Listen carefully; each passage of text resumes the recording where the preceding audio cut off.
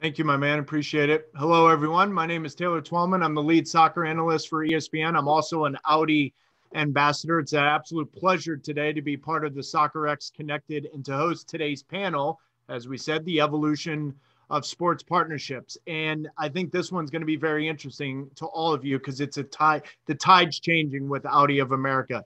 Uh, as we just said, Shawna Burtscher, who's Audi of America head of experiential marketing, She's got technical difficulties. She's going to try to join us. Sana Shuaib, MLS Vice President, Partnership Marketing. Will Tidey, Senior um, Manager Strategy, Bleacher Report. And Jake Davis, who just got out of bed, the midfielder from Sporting Kansas City Academy. Jake, I'm just kidding. Uh, let's get right into it, guys. Time is of the essence. Uh, sports partnerships have evolved so much over the years, but in particular over the last 24 to 48 months what was once viewed as just signage, hospitality deals, it's now become a little bit more of an authentic partnership that enhances the fan experience, accomplishes partner business objectives, but most importantly, from my perspective, it grows the on field product. Will, I want to start with you. When it comes to sports partnerships and brands, uh, what makes soccer so appealing from your perspective? Yeah, thanks, Taylor. Well, it's my favorite subject, obviously. Um, we start with the fact that the soccer audience is a very active and passionate fan base, incredibly engaged on social media, and we'll get to some numbers on Bleacher Report later. From there, I think what you have is an audience that is interested in sports generally. We did some research last year. 86% of soccer fans are also following NBA and NFL across Bleacher Report app. So you're hitting a wide demographic and you're tapping into a young, affluent, really excited soccer audience. Um, so it's just an exciting place for brands to play right now. Sana, from your perspective, I think what's interesting is that many people at ESPN and outside the league look at it and say they're appealing, these brands are appealing to a younger demographic. I, how have the brand's perception of soccer in the United States changed over the years? Absolutely. Well, thank you, Taylor. So delighted to be here. Um, I think brands are really seeing the power of the sport due to the global nature of it. And when they look at both brand and business um, objectives and what they're looking to do, they see the impact of the sport and the long-term growth that it can bring um, with the target that soccer does have, particularly from a participatory standpoint with youth soccer. And that's where Audi has been tremendous um, in terms of not only fueling the growth of soccer um, in the states, but really providing that opportunity and access for more players to have um, you know a shot to enter the likes of MLS. Sana, how did the deal with Audi come to fruition? Because it really is something that is tangible in trying to help the on the field product. How did that come to fruition? Yeah, I think you know the point you made earlier. I think historically, um, you know, sponsorships used to be very much about brand awareness. Um, you logos and signage. Um, but what's so fantastic about Audi um, is the need and the desire to be authentic and to make impact. Um, they really came to the table and said, what can we do to impact the sport, to grow the league in North America, um, and really provide that access um, where otherwise you would not have it. Um, so I think, you know, the being very centric about fans and consumers at the core and wanting to make a long-term impact um, is what really was the kernel of what we've developed together.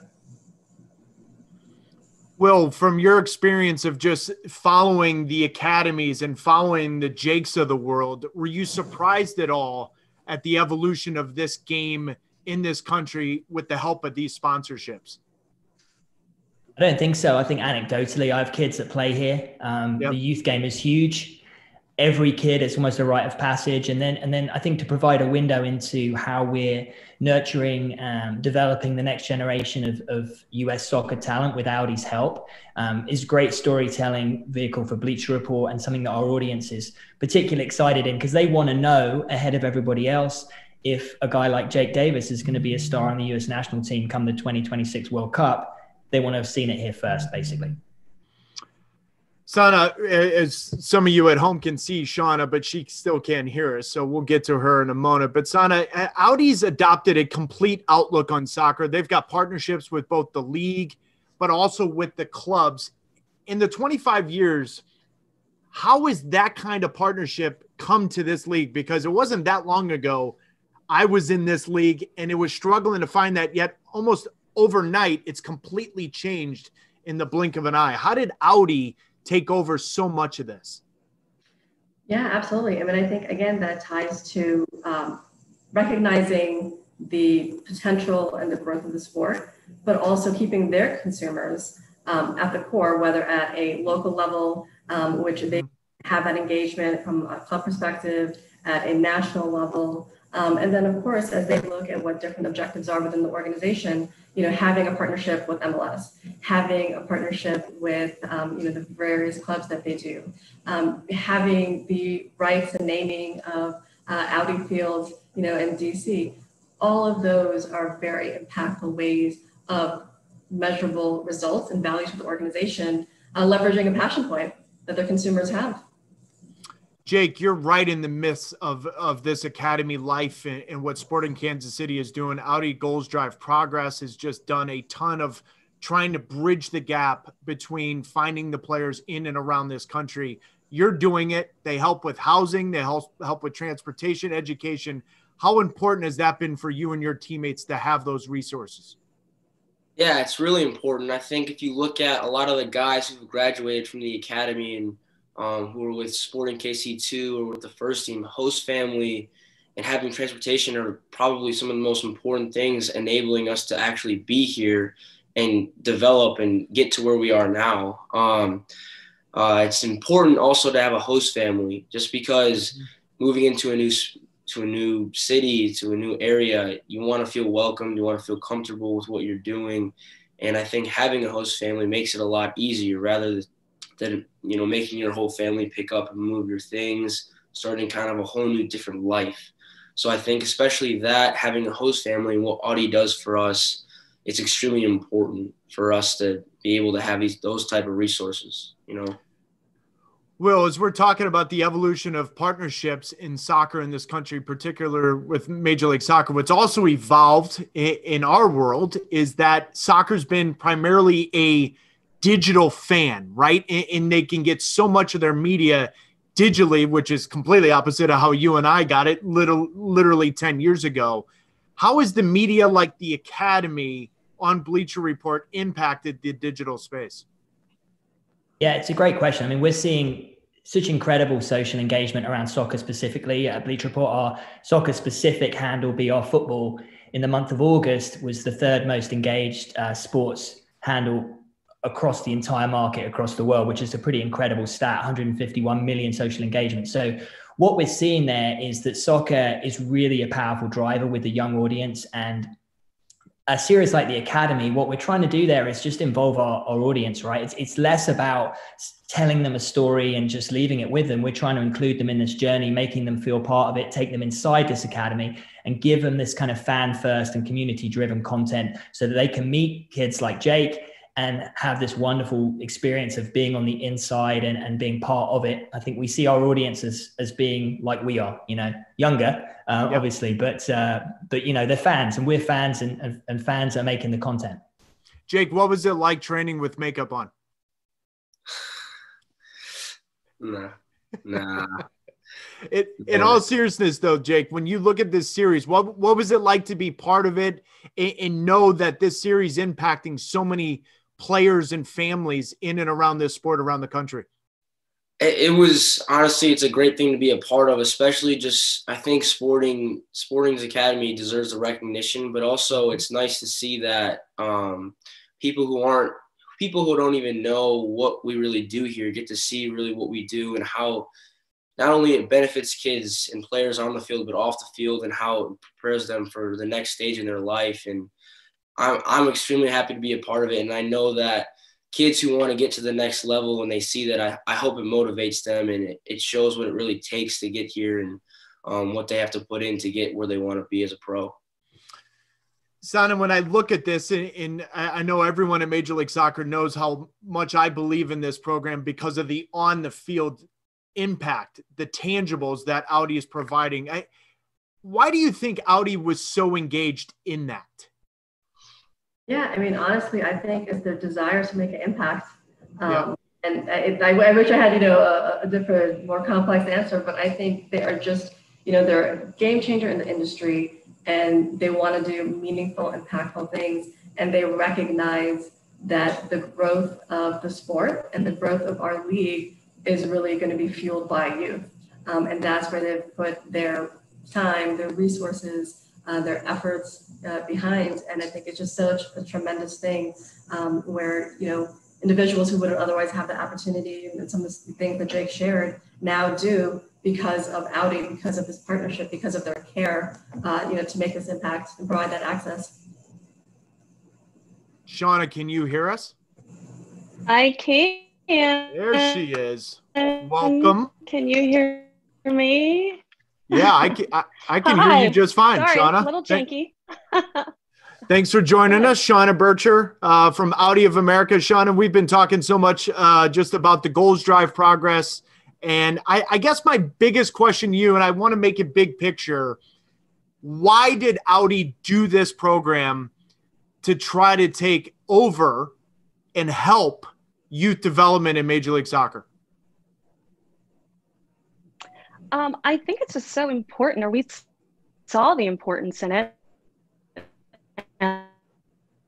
Um, and being um, America to grow this for sure. Major League Soccer, um, they're only 25 years young. Their fan base is so diverse. And if you go to any match, you can't imagine how inclusive that diversity then becomes. And so partnering with them made perfect sense for us um, as a brand. And then the opportunity to see where Major League Soccer can grow and that we need to be fostering that talent of tomorrow became so important to us to be able to remove some of those barriers and make it easier for us to just showcase the talent that this country has um, and to become the powerhouse we know that we can be. How, if Sana, I want to go back to you. I obviously look at this. We're Soccerex. We're all over Zoom. We're doing this digitally. COVID 19, the global pandemic, how has that changed sports partnerships? If it has at all, if not, maybe it's helped it. I, I don't know that answer. How's it changed?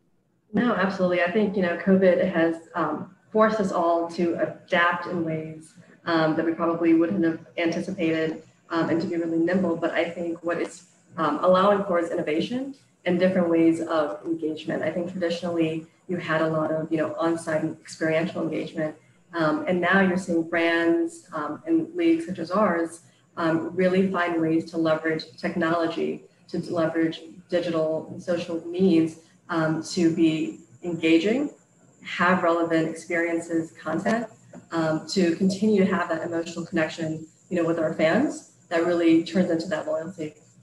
Well, I want to stay with that topic of COVID 19 and global pandemic because I don't think people understand how difficult it is to film a series like The Academy during this. How difficult was that in trying to pull this off? Yeah, there were a lot of challenges, um, Taylor, and massive credit to the, the guys at Sporting KC who were so amenable and helped us. We had to put safety and security first. Um, we did a lot of interviews over Zoom, as, as Jake will attest. And I think a really cool part of it is we had to get innovative and creative. And one of the things we did was some DIY stuff where we gave the players license look, take a cell phone, film around your house, show us your everyday life. And in a funny way, that was great for our audience because they're consuming content through their phone. It yep. feels very organic for them to see that type of thing. So I think we did the best we could, and it, it in a way it's incredibly relatable because everyone's living this same COVID experience. So we captured it the best we could. Sean, I want to go back to you because I think over the last, and we were talking about a little bit early on when I was playing in the league versus now. It's a it's a completely different conversation. It wasn't that long ago, but in particular over the last, I'd say five to seven years, why has Major League Soccer become so attractive for a brand like you and Audi to do it in a variety of ways uh, with with that partnership and with that sponsorship? I think you've seen with the how young their fan base is, they're also super engaged and really digitally savvy, which during times like this in COVID. Um, and the league has been able to work with us on some really creative solutions that we've come up with. And it was, oh, I guess, a wonderful compliment um, to have the academy come out at this time because they are so plugged in to what's happening. They're looking for really rich content. I mean the fans have really embraced this academy series yeah too, the academy so series has been fantastic. Um, we've been i mean the response has been phenomenal. We're, we're really excited about that. Um, but i think it is a testament to just how digitally savvy these fans are and how hungry they are for this really rich purposeful content it's a it's a thoughtful series also but I, I think fans are looking for more of that right they they're so plugged into what is going on they don't want just some kind of surface um, information anymore or really fed a lot of overt branded elements. Um, what we've been able to do here because the fans embrace it, give them something really rich and behind the scenes. So um, we're really excited about that. Son, I guess my question is how do how does one judge success with all of these partnerships? Yeah, I think it really lies in, you know, at the core, what are the goals and objectives from a brand and business standpoint? and how can we show those measurable results? And I think, you know, I, I look at Shawna last year when we were in 2020 planning meetings um, and, and, talking about, you know, what we are going to do this year, but really honing in on, you know, what were those key metrics going to be? Where did we have to show, you know, performance of platforms, um, media spend, um, you know, what was happening with the Goals Drive Progress program, and really outlining that to be able to show impact, results, um, and the value that is delivered to the organization um, because I think as Shawna can attest to, um, you know, brands have so much uh, increased pressure to quantify uh, ROI. Um, and I think, you know, we have to be very uh, custom with what is it that each brand um, is looking to achieve by leveraging the, the partnership. Well, from a media perspective, uh, I, how do you guys judge success? And more importantly, during this process, has that changed at all? Yeah, I don't think it's changed for us. I mean, views is a metric that goes across the industry. Uh, the academy is doing great, really strong performance. I think most important for us is engagement, though, because that's how we're judging whether a piece of content is really hitting home and capturing uh, the attention. And the engagement numbers on this one are, are, strong. So those are the two metrics that we're looking at. I prefer the engagement one because I think um, I think it's more telling for the for the success of the content. Shawna, has your expectations for this program changed uh, because of COVID 19? Um, um, I don't think our expectation approach when we we started this, um, but I think we've been really pleasantly surprised. And our our hope at the end of the day is that fans just get more engaged um, with their MLS academies. They're looking for um, that next talent that's coming up and being brought up to um, you know, their their top team to be able to play um, professionally. So for us, the the expectation has been just giving fans something that they do, as, as Will mentions, get engaged with, and long term that they're looking forward to that, um, and they're just so excited that you know if they've got someone from Sporting KC, see whether they come up to or they get traded somewhere internationally, they're still a fan of that person because they came out of their hometown academy. So um, our expectation is just to give fans something that they're really excited um, about, engaged with, gives them more talk value, um, and something to look forward to. Sana, this is an interesting question coming from the audience. What can we do to get more brands to listen to the challenges and barriers young footballers from ethnic, urban, and working class communities in the United States face in their development? That's a really good question. I mean, I think it's so important to be able to um, share the stories and the experiences.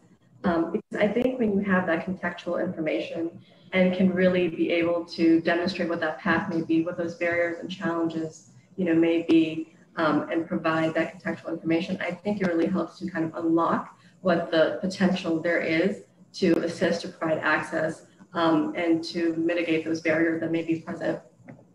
Jake, I want to ask you because you're literally in the academy right now. How has your experience with the sport been more diverse as you've gotten to be, you know, entwined in, in engaged with Sporting Kansas City's academy? It's changed, hasn't it? I think so. I mean, I think uh, just I think also looking at the level. Um, I mean, I think there's a lot of stuff that you don't. I honestly, when moving here, I didn't. I didn't think I would be a part of, especially um, having a good system, moving up, getting different opportunities. I think that's something I didn't really expect, and I'm glad that I was a part of it. And I mean, I was just. I mean, I'm glad I've gotten better through this process. And yeah, I mean, I think Sporting does it really well. I think that's the one thing that has stood out to me, Will, is just that this sport, of all the sports in this country, it's got the ability to make it more diverse. And a lot of that comes through brand partnerships, sports partnerships. And that evolution kind of coincides now with the diversity of the sport. Do you guys see the same? We do, yeah, absolutely. And I think there's inspirational stories to be told here. There's stories about how um, different players have different journeys. I mean, just through the academy series, um, Jake will tell you about Natty, one of his uh, teammates, and uh, you have you have players come from all all over the world who have all kinds of different upbringings and some privileges, some not. And I think it's about making this game what we know it is, which is a universally accessible sport. And these MLS academies are giving kids, regardless of of how they grew up and, and how affluent their family was or where they came from, they're giving um, the right opportunities to the players who show the right hunger and the right talent. Simon, we have a little bit of time here, maybe 30 seconds or so. I, sports partnerships are constantly changing. Uh, what do you expect to see in 2021 in the years beyond?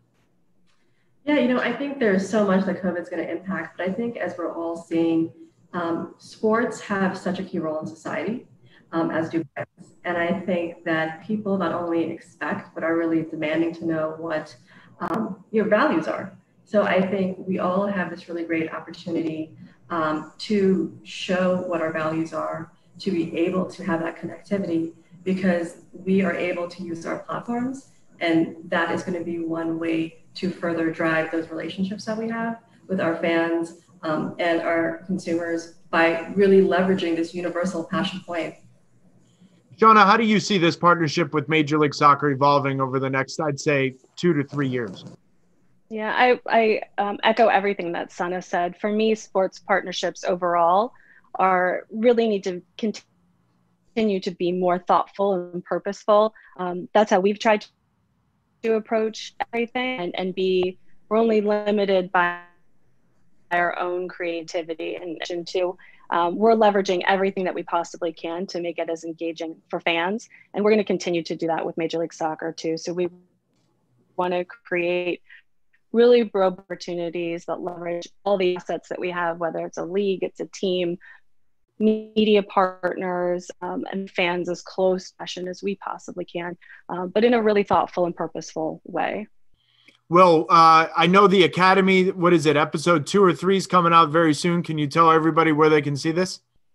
Yeah, the trailer for episode two is out right now on the BR Football social handles. Um, obviously, get out, share that, and the episode itself goes live end of September. Um, yeah, we're excited. we t- we've got, we've got a crew on the ground now, um, and we just we, we want to meet and more players and, and tell more about stories of uh, the ilk of, of Jake's.